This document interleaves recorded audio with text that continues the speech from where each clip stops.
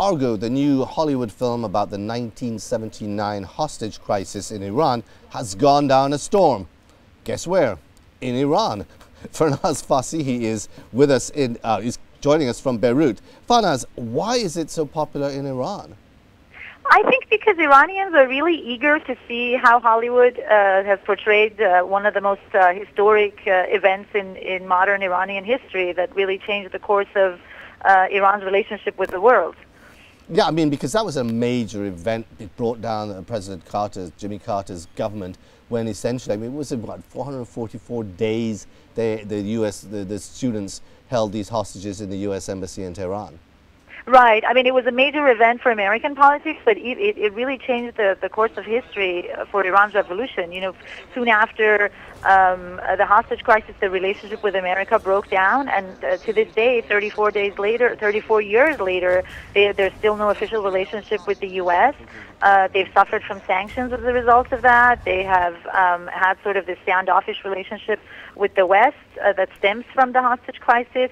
And there was the Iran-Iraq war, which the uh, the Americans, by and large, supported uh, the Iraqi side uh, during the war. Uh, and uh, it, you know, a lot of it goes back to that initial um, turn in history where they took the Americans hostage and, and let it drag on for as but, long as I mean, what, what is fascinating here, Farnaz, if anything one would have expected, as you said, this is an American version of something that's a great national pride in Iran. But instead of them criticizing it, well, I'm, I'm sure the government's criticized it, but the people seem to actually be seeing a lot more in this film and actually using it as an excuse for criticizing their own government.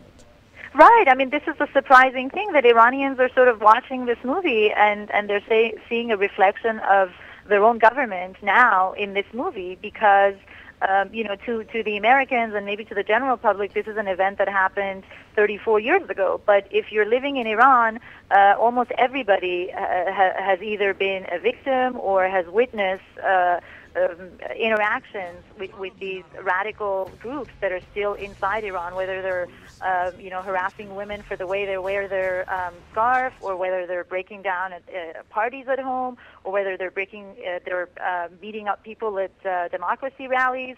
Uh, so there's this sort of tendency toward radicalism and violence is something that's uh, still very present in Iranian um, uh, sort of it, politics and, it, and essentially society. It's, a, it's a, reminder that things haven't really moved on. Um, but what right. is interesting as well is I gather there haven't been any public showings of this film. Um, but so this is all just DVD, DVDs that have been copied, you know, and, and passed around.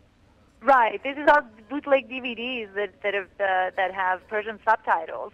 Um, Iran has the, in Iranian cinemas they haven't officially um, uh, uh, put on Argo, uh, but they, they they, they did uh, screen it uh, at a university. That's the only public screening we know uh, of the movie. But it's just going um, hand by hand and house to house. Farnaz, brilliant. Thank you very much indeed. And of course, what's fascinating as well now is that Iran apparently is planning to make their own version of events too.